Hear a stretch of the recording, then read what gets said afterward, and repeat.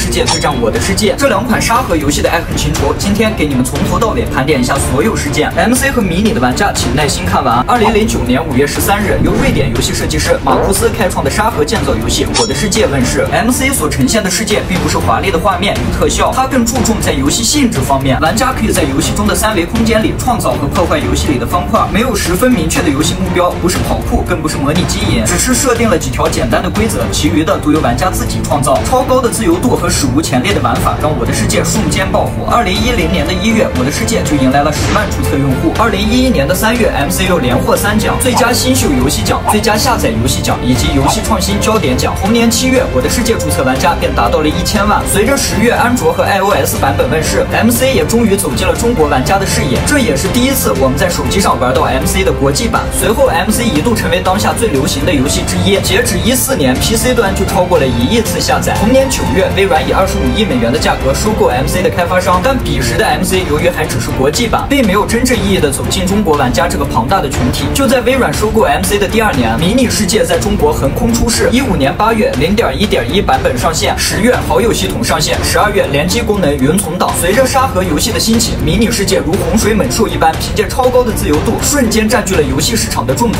一举获得了三千多万用户。仅一七年十月，官方宣布的多端用户就已超过一亿，而同年。八月，由网易被独家授权的中国大陆版 MC 才刚刚开始公测。一九年，迷你迎来三周年的生日，MC 的开发者大会上也公布注册玩家累计三亿。而此时，MC 漫长的维权路也在逐渐进行。随着两款游戏的受众群体之多，但玩法却又极其相似。这场没有硝烟的战争在迷你诞生的那一刻就已经打响，双方玩家都极力维护各自所处的家园，逐渐形成了反 MC、反迷你两大阵容。二零二零年的迷你并不好过，先是四月因为不法分子在游戏中传播不良信息。被下架整改，随后我的世界对迷你长达五年的维权之路，在二零二零年的最后一天迎来判决。一审判决迷你删除两百六十七个核心元素，并赔偿两千一百一十三点二四万元。随后迷你便大更新了一点零版本，试图删除并调整所谓的两百六十七个要素。本以为这场战争就此告一段落，但随后二一年的一月二十三日，迷你世界发布公告提起上诉，所以就又有了这次的最终庭审。这次的审判更是持续了三个小时，我的世界更是要迷你世界赔偿五千万，并停止一。一切侵权行为，MC 控诉迷你抄袭核心玩法，但迷你解释我们的玩法只有一个，就是不死，其他玩法都是自由的。庭审结果呢，到现在还没有公布。我相信正义不会放过任何一个坏人，更不会冤枉任何一个好人。这场持续了六年的战斗，很快就会有结果。不论 MC 还是迷你获胜，我都希望双方玩家能在矛盾中文明理论。我是奥特叔叔，下期见。